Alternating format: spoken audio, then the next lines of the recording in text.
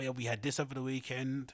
People were protesting in London, um, obviously protesting against the lockdowns and um, pushing forward with the idea that they wanted things to open up on the 5th of July, so push forward the date of our freedom. And it seems like techno Twitter people are quite divided on this sort of um, approach to doing things. Um, so they did this whole like save our scene. I don't know what it was, some sort of uh, process thing, and part of it was that they had this um, van with a DJ booth set up where they had DJs playing and shit. Um, kind of you know again their way of protesting who knows what the idea or what the kind of uh, intention was behind it. But for the most part people seem to be enjoying themselves. There was record amount of people went, went out to protest. The whole streets of london were completely packed with people wall to wall. And it just feels like some people are just fed up in it they're fed up. They want to have their normal lives uh, back again. They want to have some level of autonomy. The people that are involved in the nightlife scene or dance music want to be able to go back to doing their jobs and doing what they actually love.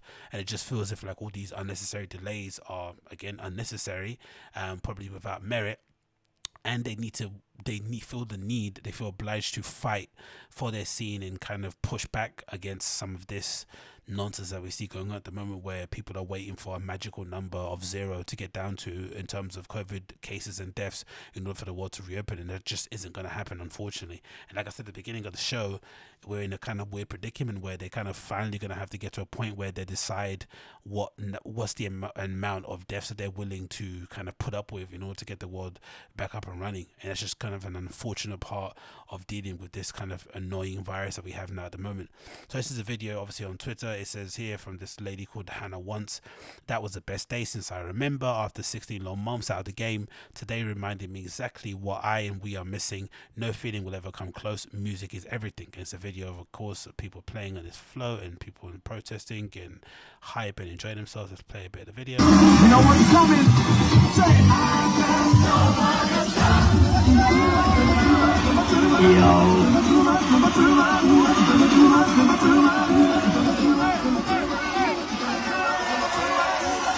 Mad Whites, of course, because you know this is just the type of music that they kind of like, so it is what it is, and maybe they're more, you know, prone or up for going to a protest in general, right? You're not going to get a lot of, you know, unless it's something to do with our actual community, you're not going to get a lot of blacks and, you know, brown people deciding to go out on the streets of London and protest something like this because it's just not within our interest, I guess, for the most part. So that's one observation to make out of it. Where's the noisy crew?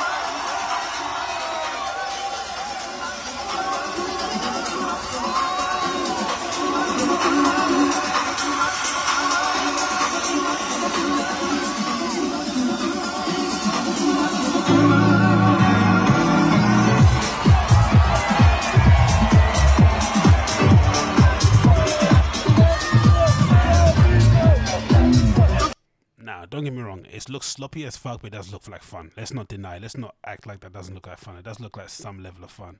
It looks sloppy. It looks like everyone's there is probably like you know off their face on care or whatnot, but it does look slightly like fun. But this person on Twitter, Will Lester, said save our scene, obviously taking the piss. Um, people say never too much remix is just whatever. Um, 16 long months about to get even longer after gathering of this fall fast fall fest. Yeah, I get it there is this idea that you know um, all these impromptu, unnecessary, illegal events are somehow going to negatively impact um, the dates that we have set forward now in terms of getting things reopened. And I kind of do understand that, right? Like, what's the point of putting this sort of stuff together when we're we're going to be somewhat back to normal in a few weeks anyway? But then in response, maybe those people would say there is no confirmation or guarantee that once they reopen things again, that they're not going to just close them back up again, right? So this is their kind of way of protesting against it and reminding people that regardless of what the rules are, they're going to continue doing what they want, which will inevitably, they feel like, put some pressure on the government to make sure if they do open things up again, that there's no going back. I don't know. Another guy here says it's like they couldn't wait to get back to the dance floor. Sorry, get their phones out. Mm, I don't know what he says. Says there, no, you can keep it. So cringe. I can taste the tangerine in the air from here. SMH to laughing. So I understand the sentiment, but it does feel like there is. So there's a weird sort of like in kind of um there's a weird sort of like silent class war with these things. It feels like going on.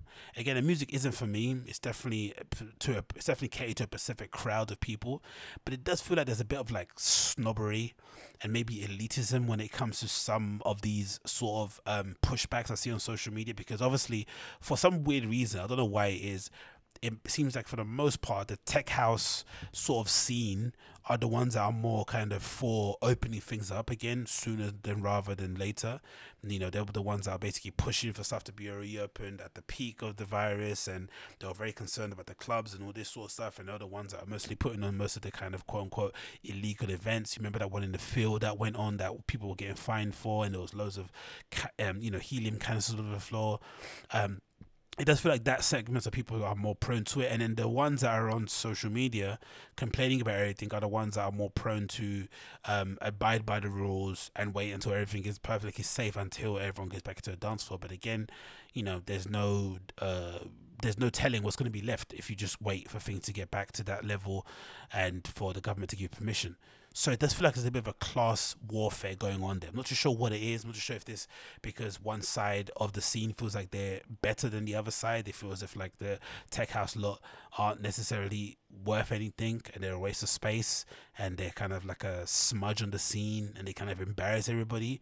Or if it's a thing of them just thinking no these guys are idiots they're putting people's lives in danger and they shouldn't be doing this they're being selfish and blah blah blah i don't really know. But it does seem like there's a little bit of a class divide going on there for the most part i would say like between maybe the working class lot of people who are probably you know more prone to vote conservative than the more middle class social media lot of people who are definitely fans of Jeremy Corbyn and all that shit. in it I don't know. That's maybe what I'm seeing again. No politics, no politics a political guy, but just from my observation from the outdoors, right, you can see a couple of mixed race lads there, but for the most part, right, it is a festival of whites.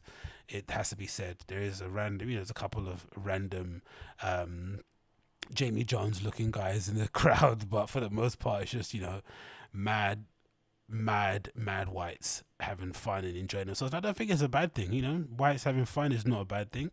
And I once obviously seems to enjoy it. Secret DJ didn't like it. Secret DJ said, You're a truly dangerous person, absolutely did encapsulate everything that's wrong with, um, with not just the scene I love, but the world in general. Jesus Christ, damning. Thick, entitled, and selfish. Hell of a combo, and you steal other people's music. I didn't even read the whole thing, I just liked it so I can clip it, so I can kind of come back to as a bookmark. But Jesus.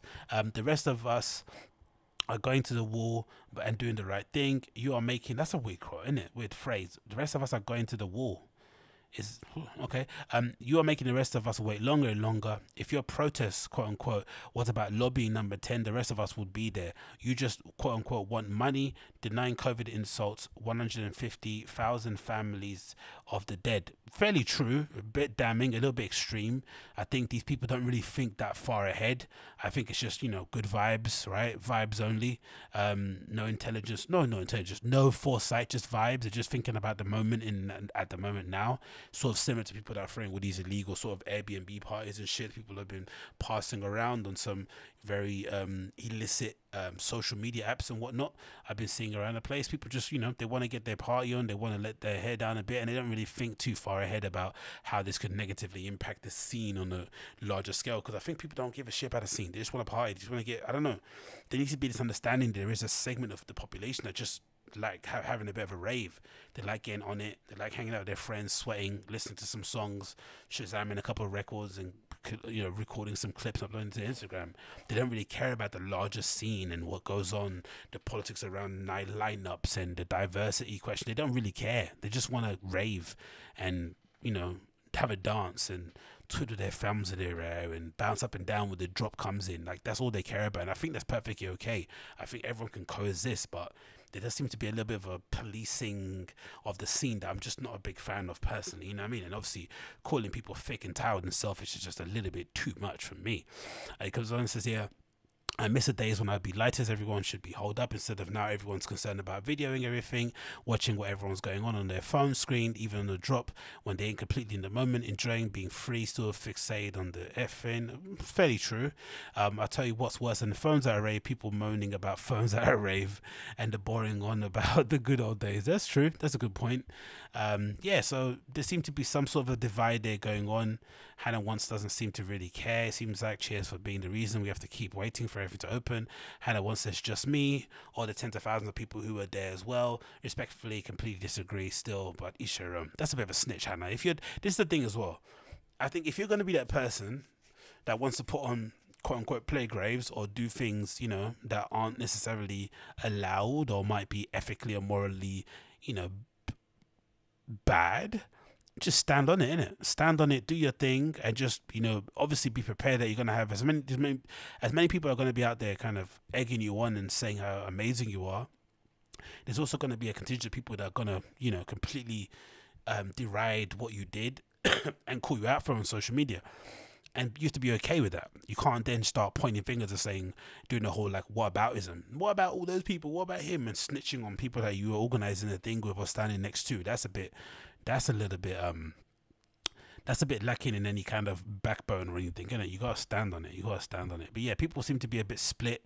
It says yeah, if this is the shite, if this shite is the scene, then it can disappear without a trace tomorrow. Good riddance, lockdown forever. Yeah, I get it, but hey, man, I think people have had enough, man. I don't know. I just, I just want to know the, the, the, like again, I got a lot of time for Secret DJ, um, but I want to know when those guys are okay with things going back to normal. Like, when's enough going to be enough for them? um, there has to be a time, there has to be a limit, there has to be a number that everyone kind of has, and it can't just be what the government said because you know the government have dealt with this completely, you know, in the worst way possible, right? They fumbled the bag on so many occasions that they just can't be trusted to kind of steer us out of this in the correct manner. You know, um, we're in a sort of reasonable time frame. They're gonna have to, we're gonna have to put some level of pressure on them. Think about all the stuff with sort of like um what's that thing called again? Oh, what's the grant? Anyway, all the grants, um, and all the support that people have been having during this time of lockdowns and COVID, most of it has come off the back of people protesting and keeping up, kicking up a bit of a fuss. At the moment now, some events and festival stuff still haven't got proper insurance. That's still a big issue. So, in order to, I don't know, this idea that we just sit back, cross our arms, and wait for the government to allow us to go back outdoors and do what we want is just a bit naive. Again, I just don't trust them to do the right thing. And there has to come a point where things just have to get back to some semblance of normality. And we just have to also accept that there are certain people within our overall dance music, electronic music scene just have different objectives when it comes to partying and going outdoors and some of them just want to get on it and go outside. They don't care about the overall safety of people. Um, in general or the impact it might have or maybe they might just downplay the virus and initially itself and be people that kind of think it's a little bit overcooked a bit of you know the kind of um, the threat to a certain segment of people that go to the events is maybe um, you know there's maybe a bit too much importance put on it and all that stuff. I don't know there might be COVID in all that whatever it may be it's okay I don't necessarily see an issue with it it's okay everyone can coexist there just needs to come a point where we just get back to some sense of normality and you know this might be it for some people. Personally, you couldn't catch me dead at one of these events, but I understand the need for it. I just wish we had a little bit more harmony. I just wish we had more harmony.